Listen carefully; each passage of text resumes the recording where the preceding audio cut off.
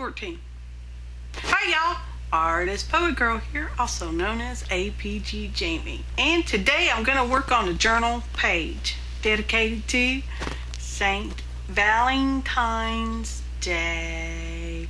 This is a, I'm using two different colors of wash, acrylic paint wash, you know, the leftover sludge in the bottom of your craft paint bottle that you really can't get out and you really don't want to throw it away. So you put some water in there. I personally add a little bit of matte medium and there you go. Now you have a wash. So I use two different colors and they're pretty wet. This is a regular plain old cardstock and uh, laid one sheet on top of the other and smashed them together. I call it the smash te technique. Mm -hmm. And uh, because I don't want any of the white bits, I'm moving it around trying to cover up those little white bits. And yeah, but if you like the white bits, hey, by all means, leave the white bits. So, um, yeah, pretty quick, easy background. And I'll be drying it with the heat gun. Just any minute now or not. I may not even show you. Oh, we'll just skip right on up to our little dies. Uh, these are Spellbinders, Shapeabilities, Die Delights, Blooms 1. And uh, I call these the little wish flower stuff. I used some leftover Christmas uh, bits of scrap card, uh, you know, scrapbook card stock, whatever. Happy holidays, yo yo yo, whatever it said. And I used that to uh, cut out these wish flowers. It gave, it gave a, a nice uh, texture. That's the girl we'll be painting here in a little bit. And I was just checking for placement because I didn't necessarily want to put wish flowers behind her. I kind of want them to meld through her. So here we are. We're going to use this super fine liner that you find, uh, the bottle you find in the Hobby Lobby on the model, model car slash train aisle. Take coupon, y'all. Take coupon. And I'm just going to glue on my little wish flowers. They're just free flying. They're they're not going to be on stems. They're just free flying through through the air because uh, it's a breezy day.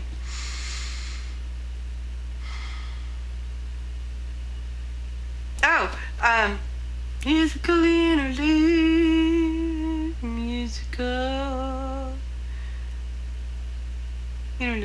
I'm going to uh, trim that up because I had it kind of hanging off the page just a little bit. Well, that's what you do when you have a little wonky cut, you know, it didn't come out so well. You just hang that off the page and cut it off pretty good. There I was showing you that that was that fine liner. And uh, let's see, I got them all glued on. I ended up uh, die cutting a bunch more because I wanted more.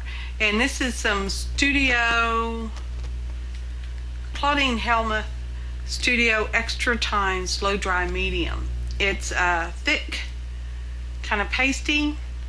I don't think I'm going to use it again on uh, on the the underpainting for the face. I really like the Anita's, the thinness, uh, watery consistency of the Anita's for this particular part. Now on canvases, this Claudine Hellmuth stuff, yeah, that's a thumbs up, people. Just a thumbs up is all I can tell you.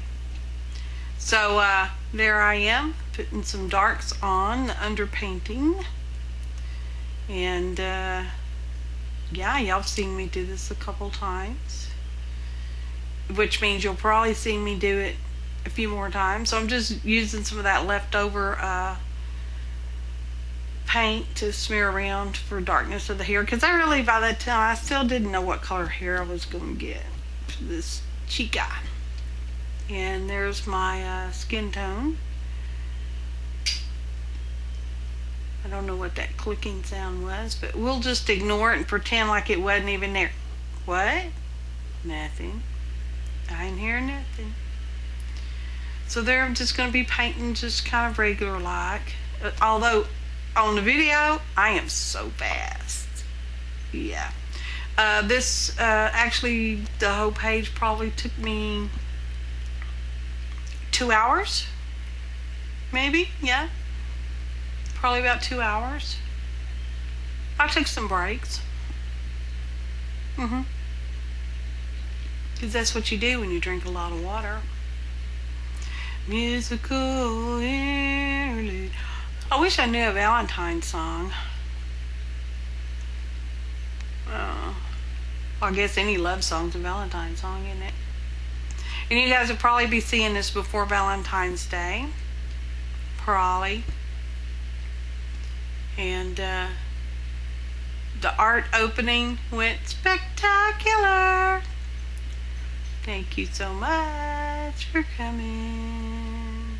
It was good to see everyone. I mean that. Thank you. So uh, here we go, putting in the whites of her eyes. She's she's a little tiny thing, I tell you what. She can't be more than I don't know, a couple inches. Her face maybe a couple inches tall.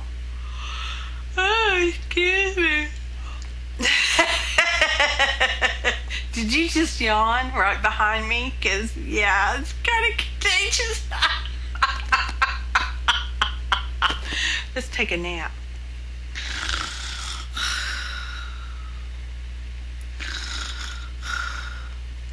Johnny says I don't snore. if you believe that, I got a bridge I'll sell you. I don't know where a bridge is. Well, we have San, uh, San, San Jacinto bridges. We have a lot of those. Anyway, I just put uh, the cheeks on. I did really like the uh, Claudine Hellmuth Studio Extra Time Slow Dry Medium. Boy, that's a mouthful, isn't it? I used that uh, for her pinky cheeks, and I loved how that looked. Loved that. So I'll probably use it for, for cheekies. And there I am. Uh, I think that's a liner brush with a dark brown, probably probably burnt umber. And I'm outlining her eyes. Was sorry about the band-aid, y'all. Had a boxing incident, accident.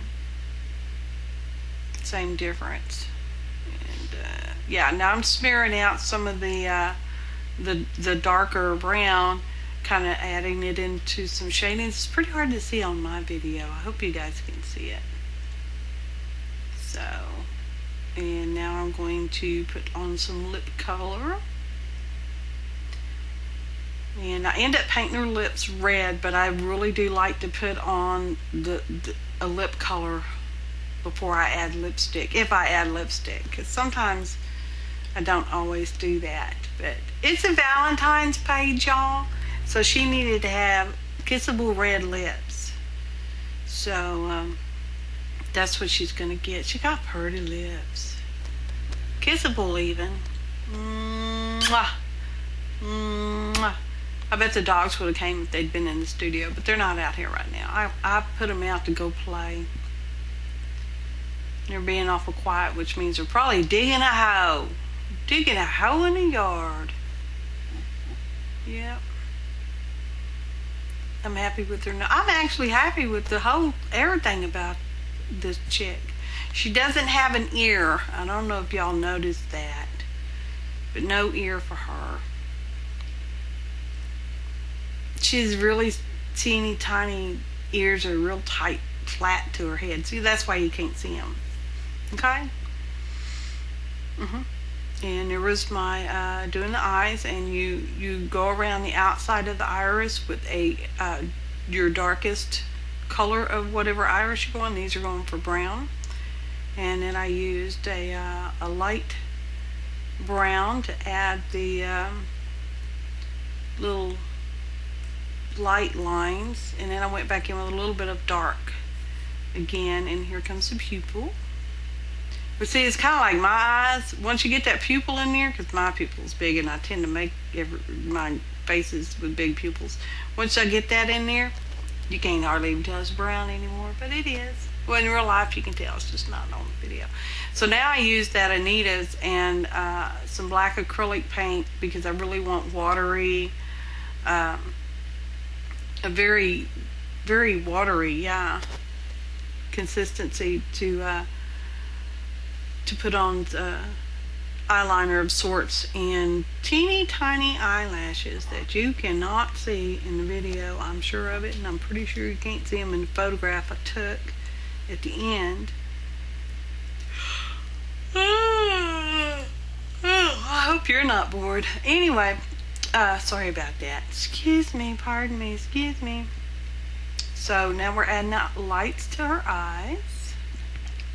And uh, I wanted to, my line just a little bit thinner, so I cleaned my brush off and uh, I have a damp brush now, not watery, damp. You want to make sure you don't drop uh, blobs of drops water on there. Cause, yeah.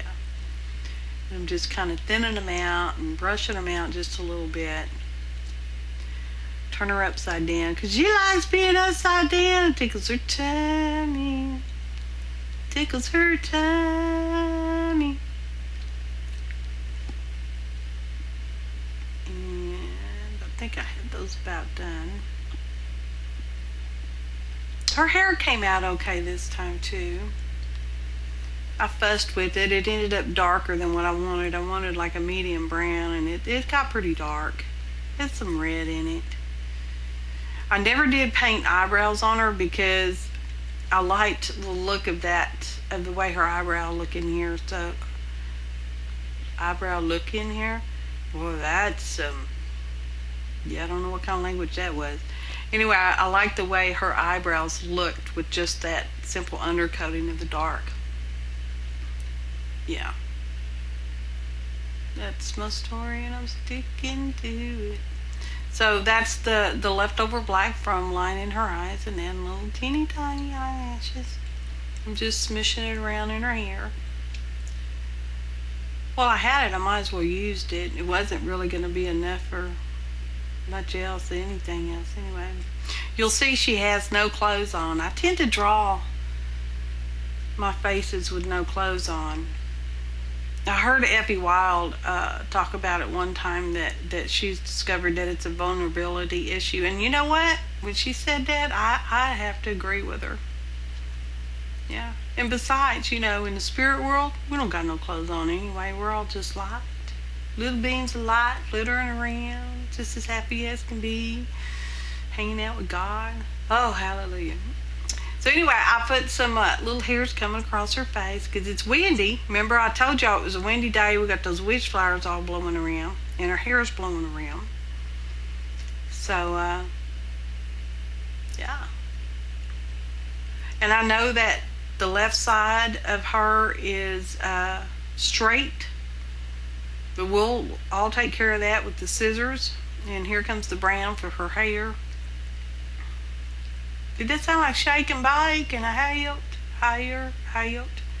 So anyway, I'm just adding uh, different layers and different colors and uh, in a moment I will be breaking out my colored pencils, Prismacolors and um, uh, that started out with black and I used like, I don't know, three, four different uh, browns, red brown, a regular dark brown, dark chocolate brown, I think it was anyway. So, yeah just put it in like hair strokes. I really don't know what I'm doing when it comes to hair, y'all. I just totally fake it. Y'all notice I don't really do my hair. I just run my fingers through it too. So, because that's what I do. You'd never know I used to be a hairdresser, would you? Mm-hmm. I used to roll people's hair on rollers and I would blow dry their hair sometimes and use curling irons, those fancy Marcel curling irons. You know, you didn't have a spring on them. You had to click, click, click, work it with your hand. I was pretty good at it.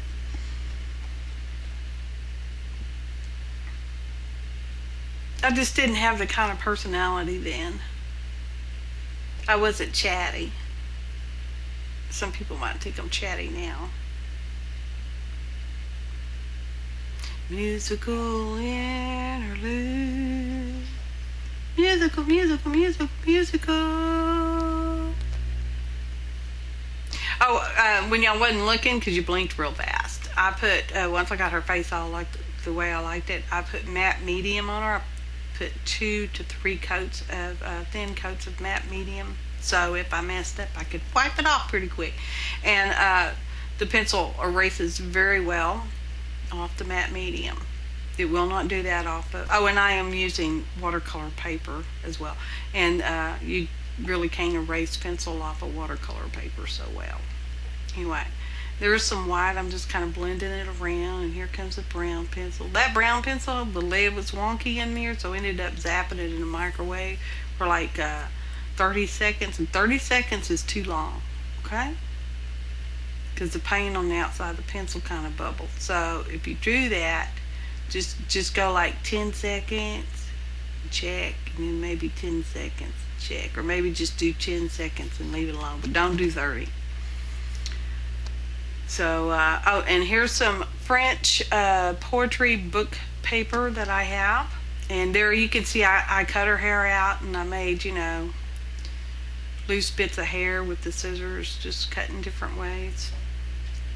And uh, I got the uh, book paper wet and I put on some pale pink acrylic craft paint. And there I'm kind of measuring out to see. Here you come, Paula. Now I have her turned around so I can get her more or less like she is. So I can trim out the pink. See, you can't even see it pink. And uh, now we're going to draw a neckline. Oh, you can see my hair. Ha! So there's my little neckline. I'm trying to top on for size. And are we happy with it? Yeah. Oh, look at that fancy ring. Mm-mm-mm. I love that fancy ring too. It's just for show, people. It's not real. So I'm using matte medium to put her shirt, dress, top on. And it, it just wasn't dark enough. It was just too pale and just kind of washed out. So I'm going to use this, uh, I don't know what that color is called. It's a silk though. Now remember, silks bleed. They'll bleed up through your your gesso and they will bleed up through your matte medium that you put on top as well. So I ended up putting like um, three pretty heavy coats of matte medium on there to keep that color in. This uh, Love Bug die, it's uh, also, uh, oh, it's Elizabeth Craft Designs and it's called Ladybug, not Love Bug, Ladybug. So I punched out some of those or die cut some of those. I didn't really punch them. And then we, we're going to glue them together like we did the, uh, the dragonfly. Y'all remember that from a while back? So, and then you just glue it on there. And ta-da! It's a ladybug. I don't know why I want to call it a love bug. Oh well. Because in this page it represents love, okay? Alright, y'all. So here we are, we're gluing it on, and yeah, the camera didn't get zoomed out, so you really can't see the page. And you can't see even where I'm sticking that there ladybug. You know, Dee Dee showed me, taught, taught us how to draw ladybugs, so I've drawn them too. And they're not too bad, I'm pretty happy with them. And there she is. And now I'm going around uh, the witchflower and uh, the girl. I don't know why she's not named. And uh, with um, Stabilo all pencil they're water soluble, pretty dark.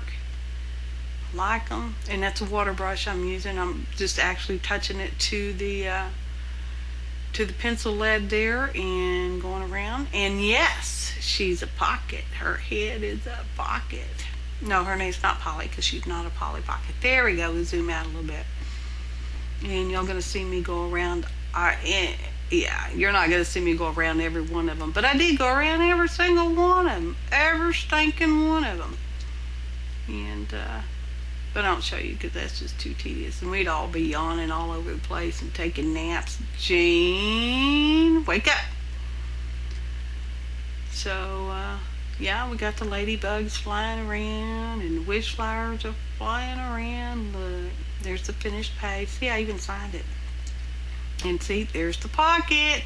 Got my little private journaling on there. Secret.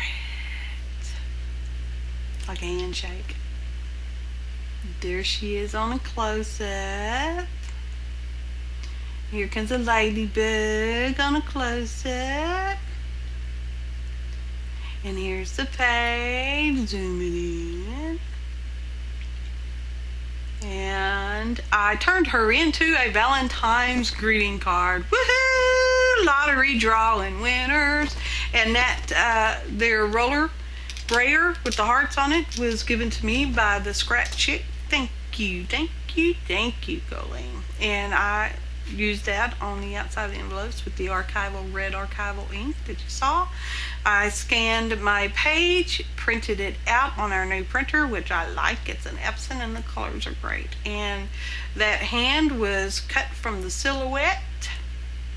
And I painted the little uh, heart inside the hand with uh, red wash, craft paint wash, and glued it all in there. And now I'm smashing that card fold over and uh, I think that's gonna wrap it up y'all. I really do like this greeting card lottery thing. Did I mention that before? Oh well. You'll hear it again. And if you're not playing please start playing along with the 29 faces in February. Check my blog. Thanks for watching and happy arting y'all